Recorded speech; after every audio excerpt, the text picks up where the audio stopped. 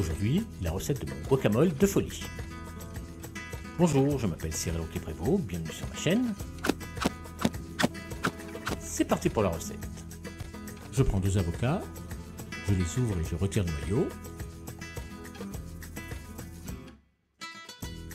Avec la pointe d'un couteau, je les strie dans le sens de la longueur et de la largeur. Et à l'aide d'une cuillère, je découpe des tranches. Ça me permet de faire des petits carrés comme cela. Je prends une tomate, je la coupe en petits dés. Je prends un oignon, je le coupe en petits dés. Je rajoute la coriandre et j'hache tomate, coriandre, oignon tout ensemble.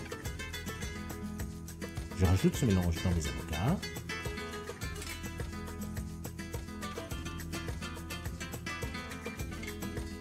J'assaisonne avec des épices.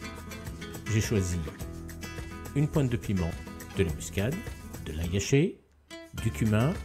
Je mélange les épices ensemble et j'assaisonne selon mon goût.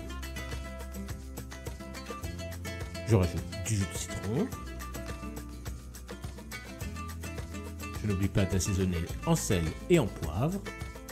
Et je laisse reposer une petite heure avant de déguster un guacamole bien frais.